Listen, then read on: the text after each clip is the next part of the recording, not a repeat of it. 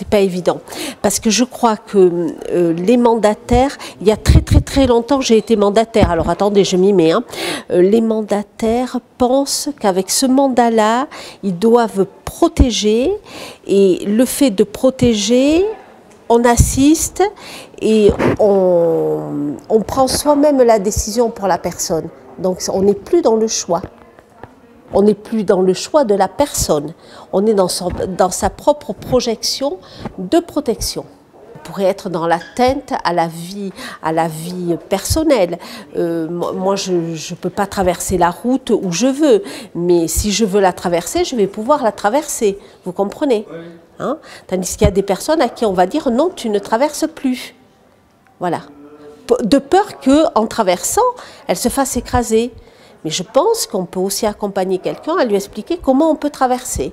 C'est le fait d'être couvert par rapport au juge, par rapport à son supérieur hiérarchique et aussi par rapport à sa conscience parce que c'est tellement plus facile de se dire on va protéger on va protéger la personne parce que si effectivement il arrive quelque chose quand elle va traverser, on va venir la questionner là.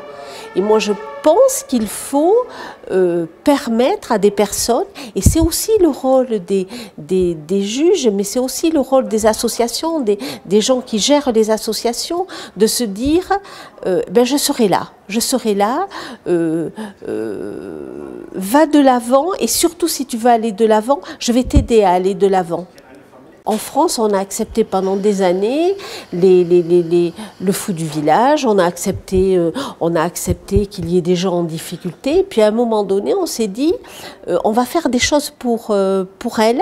Et on a créé des structures, on a créé des tas de choses, pensant, on a créé des, on a créé des lieux de vie, pensant que les mettre un petit peu à côté ou pas tout à fait ça pouvait être aidant, qui se retrouvent entre eux. Maintenant, on a une, nouvelle politique, c'est euh, euh, le logement intrusif. On, se dit qu'il faut les réinsérer, mais individuellement. On ne va pas les regrouper. Et moi, je suis que pour que chaque personne. Et je me bats, j'ouvre des. Encore là, ce matin, j'étais avec un architecte pour ouvrir des logements dans des villes, dans, pas regrouper, que chaque personne et une place, une place à part entière de citoyens, de citoyens et, travailler la différence avec les autres. C'est la force d'une société, ça. Hein. Vous ne pouvez pas avoir une société euh, performante s'il n'y a que des gens forts. Hein. C'est important qu'il y ait des faibles dans une société. Si nous n'avions pas, si nous n'avions pas toutes ces personnes-là, nous ne serions pas là aussi riches qu'on est.